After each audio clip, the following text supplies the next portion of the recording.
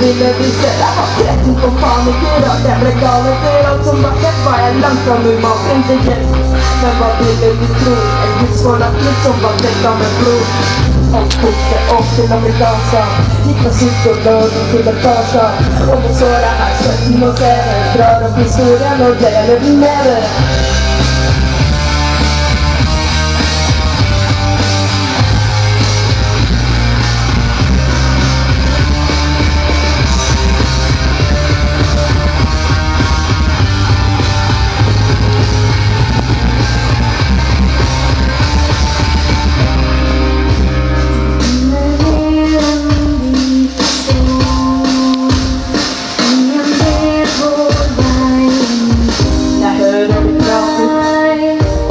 situasjonen jeg forlater. Historien har bygd opp den jeg er. Kan ikke endre på meg sjæl.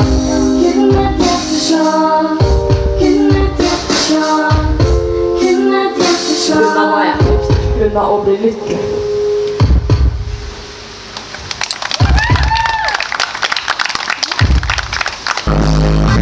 Men jeg tar tak og dere skal se meg kjempe. Jeg skal prøve å felle tårer uansett hva som er i vent.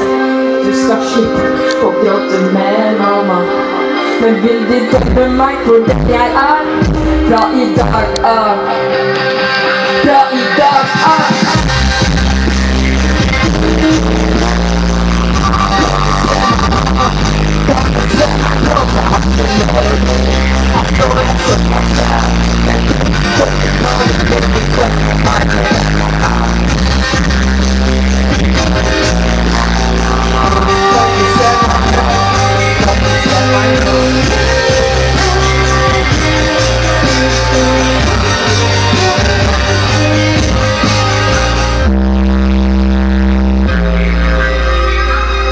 Tusen hjertelig takk for oss. Dere er fantastiske. Kos dere masse videre på økonomi.